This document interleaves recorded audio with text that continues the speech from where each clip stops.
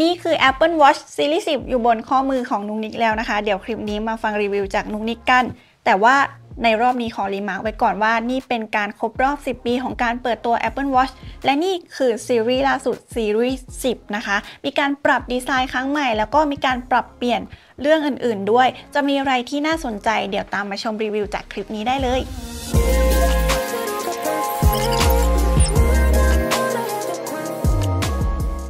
ก่อนอื่นนะคะ ขอแนะนำน้องให้ทุกคนรู้จักก่อนนะคะว่า Apple Watch ที่อยู่บนข้อมือของลุงนิกเลยก็คือ Apple Watch Series 10 นะคะ มาในสี Jet Black ที่เป็นสีดำเงาแบบสวยงามมากๆ แล้วก็ตัวเรือนอันนี้เป็นขนาด 46มิลลิเมตรนะคะ ส่วนสายอันนี้ซื้อเพิ่มค่ะ เป็นสาย Link Bracelet นะคะ สี Natural เพราะฉะนั้นพอใส่แล้วมันก็ดูดีประมาณนี้แหละนะคะ แล้วก็ในรอบนี้นะคะ Apple Watch Series 10 เนี่ย มีการปรับดีไซน์ครั้งใหญ่เลยก็ว่าได้ เพราะว่า Apple เขาพยายามทำให้ตัวเรือนเนี่ยมีความบาง นะคะ ตัวเรือนจากด้านข้างมองจากแบบเนี้ยจะมีความบางลงนะคะทำให้ดูสวยงามแล้วก็น่าใส่มากยิ่งขึ้น และที่สำคัญน้ำหนักเบาลงด้วยนะคะ อันนี้จะเป็นตัวเรือนอลูมิเนียมนะคะ ก็นุนิกรู้สึกว่าหลังจากที่ได้จับครั้งแรกนะ อย่างแรกเลยก็คือสวยค่ะ ด้วยสี Jet Black เนาะชอบมากเลยนุนิกเป็นคนที่ชอบสีดำนะคะ ขนาด iPhone ก็ยังใช้สีดำเลยเห็นไหมเนี่ย iPhone 16 Pro นะคะอะทีนี้ทุกคน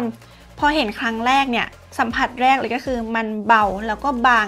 จากที่ Apple เขาพูดจริง ๆ นะ ถ้าเทียบกับซีรีส์ 9 หรือว่าซีรีส์ 8 ที่นุ้ยได้ลองจับมาอะแต่ก่อนอื่นนะคะ เผื่อคนที่อยากจะซื้อ Apple Watch Series 10 มาใช้งาน ก็คงอยากจะรู้ว่าในกล่องเนี่ยมันเป็นยังไงมีอะไรมาให้บ้างนะคะ เดี๋ยวมาดูคร่าวๆกันนุ้ยทำคลิปอันบ็อกไปแล้วแหละเป็นคลิปสั้น แต่ว่าเดี๋ยวคลิปใหญ่ก็จะมาแกะให้ดูแล้วกัน เผื่อใครจะไปซื้อนะคะ แล้วก็อยากรู้ว่าได้อะไร อย่างแรกเลยนี่เลย ตัวเรือน Apple Watch นะคะ ก็ตามที่เรากดสเปคไปนั่นแหละ ทีนี้กล่องของเขาเนี่ยมันจะมาในรูปแบบนี้นะคะ นี่คือกล่องของ Apple Watch Series 10 รุ่นปัจจุบัน มันจะมีขนาดเล็กลง เดี๋ยวนุ้งนิกจะเทียบให้ดูนะ อันเนี้ยเป็นกล่องของซีรีส์ 9 ก็คือจะเท่ากันเลยค่ะทุกคน แต่ว่าถ้าเทียบกับซีรีส์ 8 กล่องซีรีส์ 8 คือมันใหญ่แล้วมันก็ยาวมากแล้วมันก็หนามากนี่นะคะ จะเห็นแพ็กเกจที่แตกต่างกัน อันนี้เป็นกล่องซีรีส์ 8 นะคะ อันนี้เป็นกล่องซีรีส์ 10 ปัจจุบัน อะ ดูกล่องภายนอกไปแล้วนะคะ กล่อง Apple Watch จะไม่มีพลาสติกหุ้มนะ ก็จะเป็นตัวล็อกแบบนี้เลย เราก็สามารถแกะตัวล็อกออกมาแบบนี้นะคะ ด้านในก็จะมาพร้อมกับ 2 สิ่งนะคะ ทุกคน สิ่งแรกก็คือกล่องสำหรับใส่ตัวเรือน Apple Watch เปิดออกมานี่นะคะ เขาก็จะใส่ Apple Watch มาให้เราในนี้ มีเคสครอบอีกที และที่สำคัญสายชาร์จค่ะ เป็นสายชาร์จ USB-C นะคะ ทุกคนนี่เลย นี่เป็นสายถักสีขาวคล้ายๆ กับสาย iPhone แต่ว่าก็จะมีแป้นสำหรับใช้ชาร์จแบต Apple Watch มาให้นะคะ ถ้าใครแบบว่า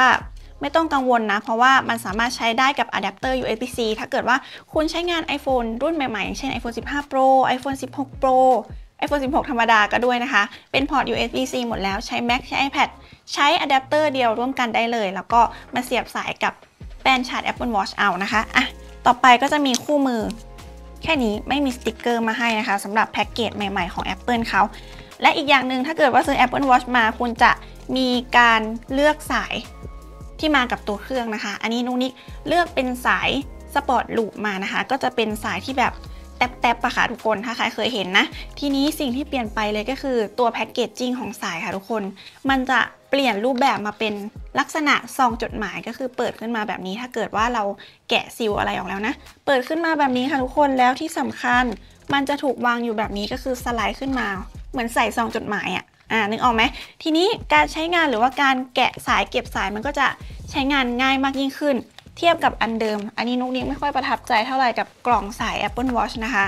อันนี้คือก่อนหน้านี้กล่องมีขนาดใหญ่ แล้วก็ใช้ยากเพราะว่าเราจะต้อง เอาออกมาแบบนี้ใช่ไหม แล้วเราก็จะต้องพับเก็บ เนี่ย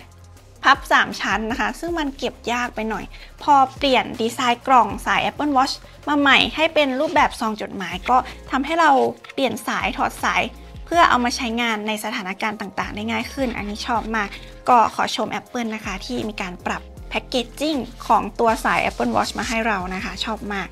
อะก็มีแค่นี้เลยค่ะทุกคนสำหรับการซื้อ Apple Watch มาใช้งานนะ มีตัวกล่องแล้วก็มีตัวเรือนมีสายชาร์จแล้วก็มีสายที่เรากดมาเองเรื่องมาเองนะคะ นี่เลยอะเดี๋ยวต่อไปเราไปดูเรื่องอื่นกันดีกว่า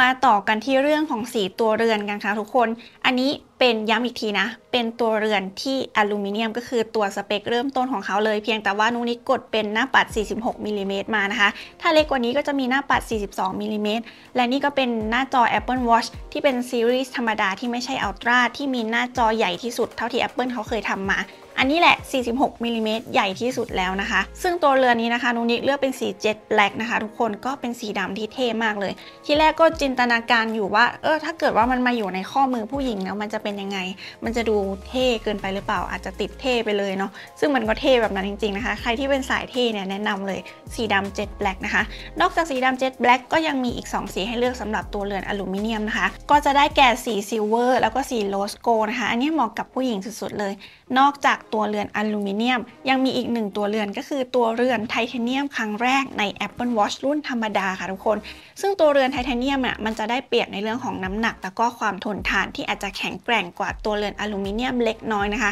สำหรับตัวเรือนไทเทเนียมใน Apple Watch Series 10 เนี่ย มีให้เลือกทั้งหมด 3 สีด้วยกันนะคะ ก็จะมีสีเทาสเลดนะคะ สีทองแล้วก็สีธรรมชาติ หรือว่าสี natural นั่นเองค่ะ ก็เลือกตามชอบได้เลย แต่แนะนำมาก ๆ เลยอะนี่เป็นสีเจ็ดแบล็คครั้งแรกใน Apple Watch อะมันสวยมากเลยนะ อยากให้ทุกคนไปลองใส่กันก่อนก็ได้นะคะอะและที่สำคัญพ่วงมาจากตัวเรือนเลยก็คือสายที่นิกซื้อมาเพิ่มเติมนะคะ นี่เลยได้สีนี้มานะคะสี natural ค่ะทุกคน อันนี้เป็นสาย link bracelet นะ ก็คือมันสามารถปรับข้อได้ตรงนี้นะคะ พอใส่กับตัวเรือนเจ็ตแบล็กมันจะให้ความที่ดูแพง หรูหรานะคะ แต่ก็แลกมาด้วยราคาที่แรงเช่นกันตัวสายเนี่ยถ้าจำไม่ผิดประมาณ 14,900 เฉพาะสายนะ ไม่รวมตัวเรือนนะ ตัวเรือนสเปคที่วันนี้กดมาเนี่ยจะเป็น Cellular ค่ะทุกคน ก็อยู่ที่ราคาประมาณ 19,900 ประมาณนี้ รวมๆกันแล้ว 30,000 กว่าบาท อะ ใส่มาแล้วก็จะเป็นประมาณนี้นะคะ นี่เลยสำหรับตัวเรือน Apple Watch สิ่งที่นุกนิกชอบมากที่สุดเลยสำหรับ Apple Watch Series 10 ในรอบนี้ก็คือการปรับดีไซน์ของเขา เป็นการปรับดีไซน์ ที่ทำให้ถูกใจแล้วก็อยากใช้มากยิ่งขึ้นอะถ้าเทียบกับ Apple Watch Series 9 เนี่ย อันเนี้ยสีชมพูเนี่ยนะคะ เป็น Apple Watch Series 9 ถ้าเกิดว่าดูจากตานะคะ เดี๋ยวขึ้นรูปอาจจะเป็นอินเสิร์ตให้ก็ได้นะคะว่าความบางเนี่ยมันบางลงจริงๆ ถึงแม้ว่าตามสเปคเนี่ยมันจะบางลงแค่ 1มิลิเมตรเท่านั้น เป็นตัวเลขที่ดูน้อยใช่ไหม แต่พอได้สวมใส่แล้วนะคะ จะเห็นความแตกต่างเลยว่า ความบางที่มันบางลงไปอะมันทำให้การสวมใส่สวยงามมากยิ่งขึ้น อะ สังเกตจากด้านข้างนะคะ ตัวเรือน Apple Watch Series 10 เนี่ย ที่มีความบางลง 1มิลิเมตรจากรุ่นก่อนหน้าเนี่ย มันพอใส่แล้วมันจะไม่ได้ดูปูดขึ้นมาจากแขนแล้วมาก คือมันเป็น ถือว่าเป็น accessory ที่สวยงามอันนึงเลยอะนอกจากเป็น smart watch แล้วนะคะ อันนี้เลยเนี่ย เห็นไหม มันจะนูนขึ้นมาแค่นิดเดียวเท่านั้น ส่วนตัวนุกนิกอะไม่ชอบความนูนของ Apple Watch Series ก่อนๆ เพราะว่ามองว่ามันนูนเกินไปแล้วพอมันใส่แล้วมันแบบไม่เข้ากับ look เราเท่าไหร่นะคะ เห็นไหม ความนูนมันแบบ เนี่ยมันนูนขึ้นมาเลยเนาะแต่พอมันบางลงอะ่ะ มันดูสวยงามดูมันดูกลมดูเนียนไปหมดกับการแต่งตัวของเรา นี่คือเรื่องแรกทำดีไซน์ให้บางลง ก็เลยกลมกลืนกับการสวมใส่ไม่ว่าจะเป็นกับเสื้อผ้าหรือว่าการสวมใส่ในชีวิตประจำวันมากยิ่งขึ้นนะคะ อย่างที่ 2 เลยก็คือเรื่องน้ำหนักค่ะทุกคน ทั้ง 2 รุ่นนี้เป็นตัวเรือนอลูมิเนียมเหมือนกัน เพราะฉะนั้น ถ้าจากสเปคนะคะ ในรุ่น Cellular Apple Watch Series 9 และ Apple Watch Series 10 มีน้ำหนักต่างกันอยู่ประมาณเกือบ 4 กรัมนะคะ พอมาอยู่บนข้อมือของเรานานๆ เราจะสัมผัสได้เลยว่าน้ำหนักมันเบาลงจริงๆสัมผัสแรกอาจจะไม่ต่างกันเท่าไหร่นี่ถ้าเกิดว่าเราเอามาชั่งบนมือของเรา แต่พอมันอยู่บนข้อมือของเรานานๆ เราจะต้องใส่ออกกำลังกาย เราจะต้องใส่เขาไปในชีวิตประจำวัน หรือว่าแม้แต่การใส่นอนอะ่ะคือมันมีผลมากๆเลยนะ น้ำหนักที่มันหายไปเนี่ย ก็เลยทำให้นุกนิกมีความประทับใจในการปรับดีไซน์ในครั้งนี้เป็นอย่างมากเลยนะคะ นี่คือความประทับใจแรกนะคะ หลังจากที่ใช้งานมาก็อาจจะไม่ได้หลายวันนะคะ ก็ผ่านมาประมาณ 2 วันที่นุกนิกใช้งานมา แต่ชอบในการปรับดีไซน์ในครั้งนี้มากเลย Apple Watch Series 10 เนี่ยเขามาพร้อมกับหน้าจอ OLED นะคะ LTPO 3 นะคะ ไอตัวซีรีส์9เนี่ยไม่มีเลข 3 มา เพราะฉะนั้นสเปคจอมันจะต่างกันตามที่เขา present ในงานนั่นแหละนะคะ อย่างแรกเลยก็คือมุมมองจอกว้างขึ้นค่ะทุกคน ก็คือถ้าเกิดว่าเรามองจากด้านข้างเนี่ย หน้าจอมันจะสว่างขึ้น 40%ทำให้การเหลือบมองนาฬิกาบนข้อมือของเรา หรือว่า Apple Watch บนข้อมือของเราเนี่ย เป็นไปได้ง่ายมากยิ่งขึ้น ไม่ต้องพลิกข้อมือมาเยอะนะคะ ก็คือองศาข้อมือไม่ต้องเยอะแค่เหลือบตาไปมองก็เห็นสิ่งที่อยู่บนหน้าจอแล้ว นี่คือข้อดีของขอบหน้าจอนะคะ ที่มันสว่างมากยิ่งขึ้นก็คือ OLED LPTO 3 ที่อยู่บน Apple Watch Series 10 นะคะ นี่แหละคือข้อดีของมัน แต่ก็แอบกังวลนิดนึงเวลาที่สมมติว่าเราไป มีการอ่านข้อความแล้วมีคนนั่งอยู่ข้างๆเรา เพราะฉะนั้นคนข้างๆเราก็อาจจะเห็นหน้าจอของเราด้วยหรือเปล่า เพราะว่าด้วยมุมมองหน้าจอที่มันกว้างขึ้นนะคะ อันนี้ก็เป็นข้อพิจารณาและกันสำหรับคนที่รักความเป็นส่วนตัวมากๆเลยนะสำหรับคนที่ชอบทำกิจกรรมกลางแจ้งนะคะ ข้อนี้ก็คือจะต้องรู้ไว้ก็คือความสว่างหน้าจอนั่นเองค่ะทุกคน ความสว่างหน้าจออยู่ที่ 2,000 นิตเท่าเดิมนะคะ ไม่ได้อัปเกรดจากซีรีส์ 9 สักเท่าไหร่ เพราะฉะนั้นความสว่างเท่าเดิมเพียงแต่ว่า การมองจากด้านข้างสว่างขึ้น 40%อะไหนๆเราก็เอามาเทียบกับซีรีส์9แล้วนะคะทำไมไม่เทียบกับอัลตร้าไปด้วยเลยนะคะ นี่เลย อยู่ในมือนุกนิกแล้วนะคะ ความใหญ่ของขนาดหน้าจอซีรีส์10 กับ Apple Watch Ultra อันนี้เป็น Apple Watch Ultra 2 นะคะ ยังไงตัว Apple Watch Ultra 2 ก็มีขนาดหน้าจอที่ใหญ่กว่าอยู่แล้ว เพราะว่าเป็น 49มิลลิเมตร ใหญ่ที่สุดก็สมชื่อรุ่น Ultra เขานะคะ พื้นที่ในการแสดงผลนะคะ Ultra ยังไงก็ใหญ่กว่าอยู่แล้ว เพียงแต่ว่าเขาจะเป็นหน้าจอที่อาจจะไม่ได้โค้งมนนะคะ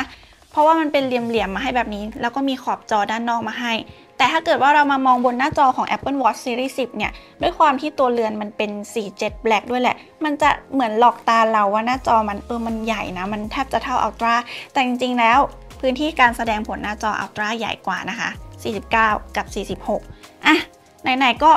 เอามาเทียบกันแล้ว เดี๋ยวมาใส่ให้ดูดีกว่าว่า บางคนอาจจะมองไม่ค่อยเห็นภาพว่าถ้าเกิดว่าตัวเองใส่ Apple Watch มาบนข้อมือแล้วอะมันจะใหญ่ขนาดไหนนะอะอย่างแรกเลยเอาซีรีส์10 ไปดูก่อนนะคะอันนี้เป็น Apple Watch Series 10 อยู่บนข้อมือของนุงนิกนะคะ รอบข้อมือของนุกนิกประมาณ 14-15เซนติเมตรนะคะ ถ้าเกิดว่าใช้สาย Solo Loop เนี่ยจะใช้สายเบอร์ 4 เบอร์ 5 ได้นะคะ อันนี้ก็เป็นข้อมือของนุกนิกในการสวมใส่ Apple Watch ขนาด 46มิลลิเมตรก็จะใหญ่ประมาณนี้แหละ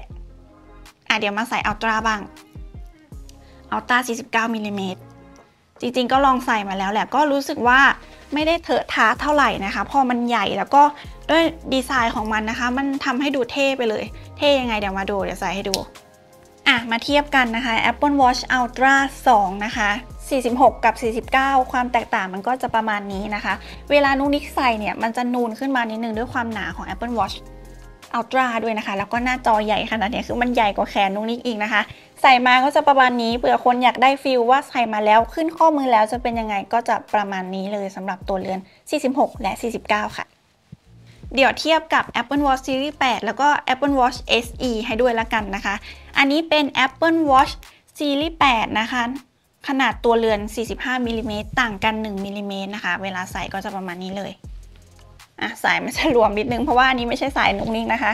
ใส่ขึ้นข้อมือแล้วประมาณนี้ก็จะเห็นขนาดที่มันใหญ่ขึ้นมานิดนึงนะ แต่แลกมาด้วยความบางแล้วก็เบา อืมเจ๋ง อันนี้เจ๋งชอบมาก แล้วก็นี่เลยอันนี้เป็น Apple Watch SE นะคะ นี่เลยเผื่อใครมี SE แล้วอยากเปรียบเทียบกับ ตัวซีรีส์10 46มิลลิเมตรอันนี้เป็น Apple Watch SE อะ เทียบให้ดูนะคะ ประมาณนี้เวลาใส่ ความบางมันมีผลจริงทุกคน พอมันบางลงมันก็ดูใส่สวยมากยิ่งขึ้นนะคะอะเราจบเรื่องของดีไซน์ไปแล้วเดี๋ยวเราไปพูดถึงสเปคที่น่าสนใจแล้วกันสำหรับคนที่จะซื้อมาใช้งานไม่ได้ซื้อมาใส่เฉยๆดูไหมก็จะมีฟีเจอร์สุขภาพการออกกำลังกาย แล้วก็มีการอัปเกรดอื่นๆ ที่เพิ่มเข้ามาด้วย สิ่งแรกที่อัปเกรดมาจากซีรีส์ 9 ก็คือเรื่องของชิปประมวลผลนั่นเองนะคะ ชิปที่อยู่ใน Apple Watch Series 10 ตัวนี้นะคะ เป็นชิป S10 นะคะ อัปเกรดมาจากชิป S9 ในซีรีส์ที่แล้วนะคะ ซึ่งชิปเหล่านี้ ทำให้เกิดประสิทธิภาพอะไรกับ Apple Watch ของเราอย่างแรกเลยก็คือ สามารถรองรับการทำงานต่างๆ ทั่วไปได้นะคะ ที่เราใช้งานอยู่ปกติ การออกกำลังกายทำงานร่วมกับเซ็นเซอร์ต่างๆนะคะ อย่างที่ 2 ก็คือรองรับท่าทาง gesture ที่เพิ่มเข้ามาใหม่ใน Apple Watch รุ่นใหม่ๆนะคะก็คือการจีบ 2 นิ้วแบบนี้นะคะ เพื่อควบคุมอะไรบางอย่างอันนี้สามารถตั้งค่าเพิ่มได้นะคะ แล้วก็ที่สำคัญชิปตัวนี้นะคะ จะเป็นตัวที่ระบุตำแหน่ง ที่ตั้งจริงของ Apple Watch ของเรา เพราะฉะนั้นก็ค้นหาจากไฟล์หมายได้นั่นเองนะคะ นอกจากนี้นะคะ เรื่องที่ทุกคนน่าจะอยากรู้ก็คือเรื่องของแบตเตอรี่ค่ะทุกคน ตัวแบตเตอรี่ของ Apple Watch Series 9 กับ Series 10 ถ้าเทียบชั่วโมงการใช้งานแล้วไม่ต่างกันเลยนะคะ ใช้งานได้สูงสุด 18 ชั่วโมง ต่อการชาร์จ 1 ครั้งเต็ม 100%นะในการใช้งานปกติ ถ้าเกิดว่าคุณเปิดโหมดประหยัดพลังงานนะคะ ก็จะใช้งานได้ยาวนานขึ้นมาหน่อยนะคะ อยู่ที่ 36 ชั่วโมงค่ะ แต่ว่าสิ่งที่อัปเกรดมาอันนี้น่าจะถูกใจสำหรับคนที่ใช้งาน Apple Watch ถึงแม้ว่าแบตเตอรี่มันจะไม่สามารถใช้งานได้ข้ามวันหรือว่า 1-2 วัน หรือว่าเป็นอาทิตย์เป็นเดือนแบบแบรนด์อื่นๆนะคะ แต่ว่าเขาอัปเกรดมาให้ก็คือเรื่องของความเร็วในการชาร์จค่ะทุกคน ตัว Apple Watch Series 10 เนี่ยรองรับการชาร์จ 0 ถึง 80%ในระยะเวลาเพียง 30 นาทีเท่านั้น ก็คือชาร์จครึ่งชั่วโมงเอาไปใช้ต่อได้เลยออกกำลังกาย อะไรก็ว่าไปนะคะ แต่ถ้าเกิดว่าเทียบกับตัว Apple Watch Series 9 เนี่ยเขาก็รองรับการชาร์จไวเช่นกัน 0-80%ใช้เวลา 45 นาที ต่างกัน 15 นาทีเลยนะในการชาร์จเร็วเนี่ยอะแต่สิ่งที่ทุกคนจะต้องรู้ก็คือ มีตัว Apple Watch แล้วนะคะ มีสายชาร์จที่มากับกล่องแล้ว ตัวอะแดปเตอร์ก็ต้องรองรับการชาร์จเร็วด้วยนะคะ แนะนำตอนนี้ iPhone เขาสามารถชาร์จได้ 30 วัตต์กว่าๆแล้วนะคะ ก็แนะนำให้ใช้อะแดปเตอร์สัก 30 วัตต์ขึ้นไป 45 วัตต์กำลังดี ใช้งานชาร์จร่วมกับ Apple Watch ได้ด้วย ก็จะทำให้การชาร์จไวเกิดผลเอฟเฟกนะคะ 0-80% 30 นาทีเท่านั้น สามารถชาร์จไว้แป๊บเดียวแล้วไปทำอะไรต่อได้เลย ถัดมามาพูดถึงเรื่องของฟีเจอร์สุขภาพกันนะคะ เพราะว่าหลายคนซื้อ Apple Watch ไปนอกจากออกกำลังกายแล้วเนี่ยยังใช้ติดตามสุขภาพของตัวเองด้วยนะคะ ตัว Apple Watch ตั้งแต่ซีรีส์ 8 ซีรีส์ 9 ซีรีส์ 10 มารองรับฟีเจอร์สุขภาพที่เหมือนกันก็คือสามารถวัดออกซิเจนในเลือดได้นะคะ ติดตามการนอนหลับได้ แล้วก็มีแอปใหม่เพิ่มเข้ามาใน Watch OS รุ่นล่าสุดนะคะ ก็คือแอป Vitals อันนี้สามารถใช้บน Apple Watch Series 10 ได้เช่นกันนะคะ แล้วก็ยังมีฟีเจอร์อื่นอีก อย่างเช่นการวัดอุณหภูมิ รอบข้อมือ เอาไว้ติดตามอาจจะเป็นการตั้งครรภ์หรือว่าประจำเดือน ถ้าเกิดว่าคุณผู้หญิงเนี่ยใส่ Apple Watch ระหว่างนอนหลับก็จะมีการวัดอุณหภูมิให้ แต่ว่าจะต้องใส่น่าจะอย่างน้อยน่าจะ7 วันนะคะ เพื่อที่จะวิเคราะห์ข้อมูลเหล่านี้ออกมาคาดคะเนการมีประจำเดือน การตกไข่นะคะที่แม่นยำมากยิ่งขึ้นนะคะ และก็ที่สำคัญฟีเจอร์ที่ควรมีเลย อันนี้ซื้อไปให้ผู้สูงอายุใช้ก็คือเป็นฟีเจอร์ SOS นะคะฉุกเฉินนะคะ เวลาที่มีการล้มก็จะตรวจจับการล้มให้ แล้วก็ส่ง SOS ไปถึงญาตินะคะ หรือว่าหน่วยพยาบาลที่ใกล้เคียงให้นะคะแล้วก็อย่างที่ 2สำหรับคนที่ใช้รถใช้ถนนบ่อย Apple Watch สำคัญเช่นกัน เพราะว่าเขามีฟีเจอร์ในการตรวจจับการชนมาให้ ก็จะเป็นเซ็นเซอร์ที่อยู่ใน Apple Watch นั่นแหละ gyro นะคะ รวมกับเซ็นเซอร์ต่างๆ ที่อยู่บน Apple Watch ถ้าเกิดว่าขับรถไปแล้วเกิดการกระแทกอย่างแรงนะคะ เขาก็จะตรวจจับได้แล้วว่าเกิดอุบัติเหตุกับคนใส่ Apple Watch อันนี้ก็จะมีการแจ้งเตือน SOS ฉุกเฉินไปเช่นกันค่ะอะ มีหนึ่งฟีเจอร์ที่มาพร้อมกับการเปิดตัว Apple Watch Series 10 ก็คือ ฟีเจอร์การตรวจจับการหยุดหายใจขณะนอนหลับ หรือว่า sleep apnea นะคะ ซึ่งฟีเจอร์นี้นะคะน่าสนใจมากเลย บางคนไม่ค่อยมอนิเตอร์การนอนของตัวเอง ไม่รู้ว่าคุณภาพการนอนเป็นยังไง Apple เขาใส่ฟีเจอร์นี้เข้ามาใน Apple Watch Series 10 นอกจาก Series 10 นะคะ ก็สามารถใช้ได้บน Apple Watch Ultra รุ่นที่ 2 ที่มี sleep apnea ฟีเจอร์นี้ให้ใช้งานเหมือนกัน เพียงแต่ว่าณตอนนี้นะคะ ไม่มีให้ใช้งานในประเทศไทย เขาพยายามขยายเปิดให้ใช้งานใน 150 ประเทศทั่วโลกนะคะ เดี๋ยวเรามารอกันว่าประเทศไทยจะใช้งานได้เมื่อไหร่นะคะ แล้วก็เดี๋ยวถ้ามานุนิกอาจจะมา demo เล่นให้ดูนะคะ ภายหลังเนาะเพราะตอนนี้ยังไม่มานะคะแอบเสียดายนิดนึง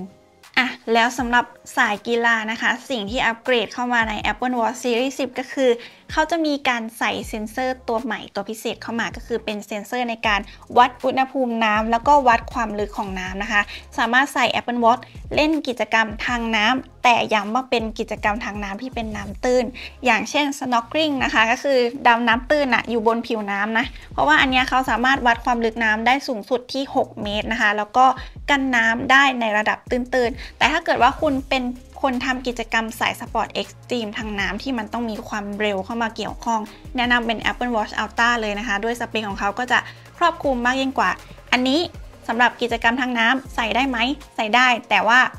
สูงสุดแค่ 6 เมตรเท่านั้น แล้วก็ อาจจะเป็นแนะนำเป็น snorkeling ใส่ได้นะคะ อันนี้ และที่สำคัญนะคะ กิจกรรมทางน้ำเนี่ยสามารถดาวน์โหลดแอปมาติดเครื่องไว้เป็นแอปที่ชื่อว่า Oceanic Plus ซึ่งเปิดตัวครั้งแรกใน Apple Watch Ultra แต่ตอนนี้ใช้ได้แล้วบน Apple Watch Series 10 นะคะ เข้าไปดาวน์โหลดได้ที่ App Store แล้วก็ที่สำคัญเขาแนะนำเฉพาะ snorkeling เท่านั้นนะ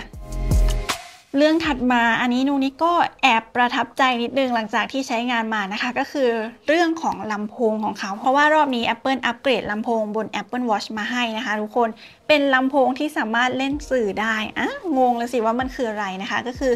ตอนนี้อาจจะเป็นครั้งแรกเลยมั้งที่เราสามารถฟังเพลงหรือว่าฟังพอดแคสต์จากข้อมือเราได้บน Apple Watch Series 10 นะคะ ก็จะมีแอปที่รองรับส่วนใหญ่เป็นแอปของ Apple อย่างเช่นแอป Podcast นะคะ แอปสีม่วงๆนะ แล้วก็แอป Apple Music กดฟังเพลง ฟังพอดแคสต์ให้มันเสียงออกมาจากลำโพงของ Apple Watch Series 10 ได้เลย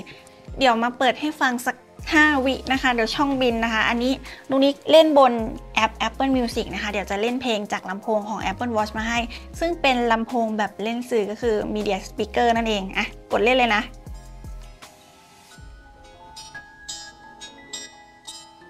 เป็นไงลำโพงดีไหมคะ ก็ถ้าเกิดว่ามันอยู่บนข้อมือเราแล้วเราเปิดลำโพงแบบสุดเมื่อกี้เปิดสุดนะ ก็จะได้ยินเสียงอย่างอาจจะเฉพาะเราหรือคนใกล้เคียงนะคะ อันนี้ใช้ได้ในสถานการณ์ไหนบ้างอย่างเช่นบางคน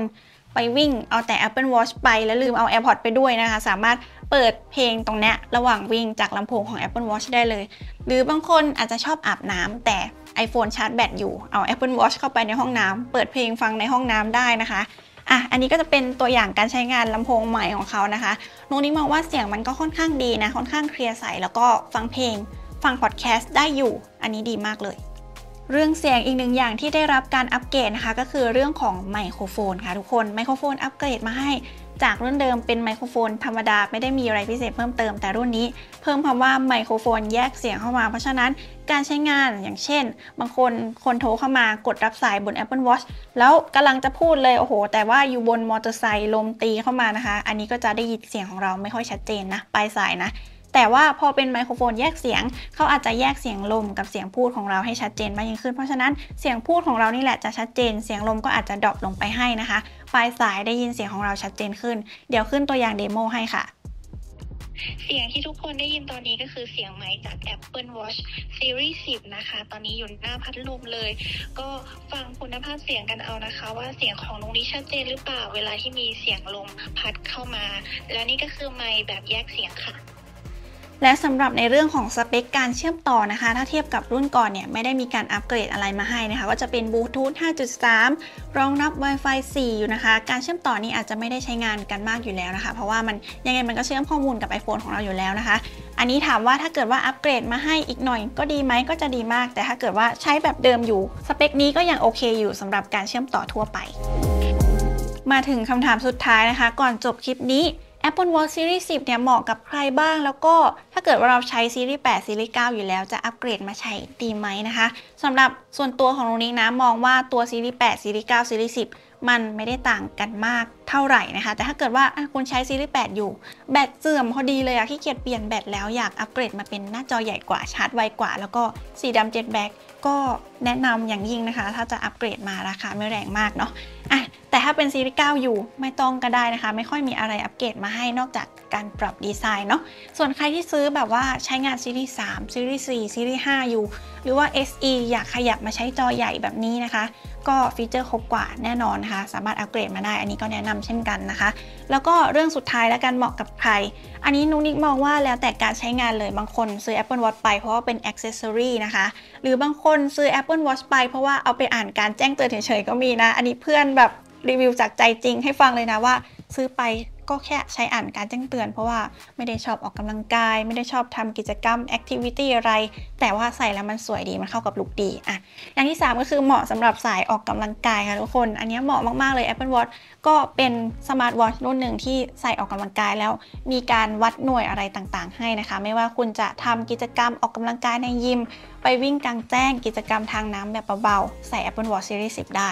และอันสุดท้ายสำหรับคนที่อยากติดตามสุขภาพของตัวเอง บางทีไม่ได้มีเวลามานั่งติดตามสุขภาพของตัวเองว่า วันนี้ฉันนอนไป 8 ชั่วโมงหรือเปล่านะอะไรเงี้ยแล้วก็แค่ใส่ Apple Watch ใส่นอนนะคะ หรือว่าติดตามรอบเดือนก็จะแม่นยำมากขึ้น เป็นข้อดีในหลาย ๆ ด้าน แล้วแต่ว่าเราจะใช้ในด้านไหนบ้างค่ะ อะสำหรับคร่าวๆก็จะประมาณนี้นะคะ ใช้งานอาจจะวันแรก 2 วัน 3 วันนะคะนุนี้ก็ได้ประสบการณ์ประมาณนี้แหละหวังว่าจะเป็นประโยชน์สำหรับคนที่กำลังพิจารณาในการซื้ออยู่นะคะ อย่างแรกที่อยากจะย้ำเลยก็คือดีไซน์ที่เบาบางมากยิ่งขึ้นทำให้เวลาใส่เนี่ย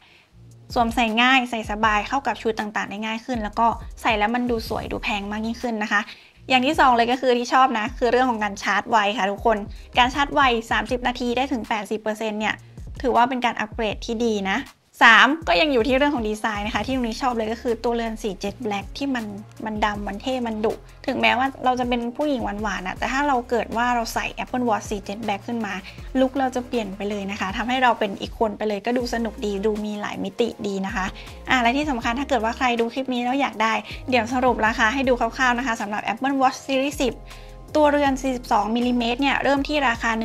14,900 บาท ไม่ถึง 15,000ราคาเบามากเลยนะ แล้วก็ถัดมาเป็นตัวเรือน 46มิลลิเมตรที่นูริกใช้งานอยู่นะคะ ราคาเริ่มต้นอยู่ที่ 16,900 บาทนะคะ ก็ยังไม่เกิน 20,000 อยู่ดี แต่สำหรับตัวเรือนประเภทอื่น ๆ นะคะ ตัวเรือนไทเทเนียมนะคะ ที่มาพร้อมกับ GPS Cellular อยู่แล้วนะคะ ตัวเรือน 42มิลลิเมตรเนี่ย จะเริ่มต้นอยู่ที่ 25,900 ส่วนใครอยากได้จอใหญ่เลยนะคะ 46มิลลิเมตรราคาเริ่มต้นอยู่ที่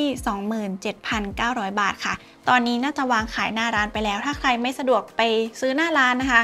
สามารถไปกดที่หน้าร้านออนไลน์ของ Apple ได้ที่ apple.com หรือว่าตามร้านตัวแทนจำหน่ายอาจจะมีโปรโมชั่นพ่วงด้วย อันนี้ต้องไปดูกันเองนะ และนี่ก็เป็นการรีวิว Apple Watch Series 10 จากนุกนิกนะคะ ใครที่อยากดูมุมอะไรเพิ่มเติมมุมมองอื่นๆ อย่างเช่น ใช้มา 1 สัปดาห์แล้วเป็นไงบ้างครับ ใช้มา 1 เดือนแล้วเป็นไงบ้างครับ ฝากคอมเมนต์ไว้ใต้คลิปนี้หน่อยนะคะ ถ้าเกิดว่าน่าสนใจแล้วก็อยากรู้กันจริงๆเนี่ยเดี๋ยวมาทำคลิปให้แน่นอนค่ะสำหรับคลิปนี้ก็ขอลาไปก่อนนะคะไว้เจอกันในคลิปหน้านะ สวัสดีค่ะ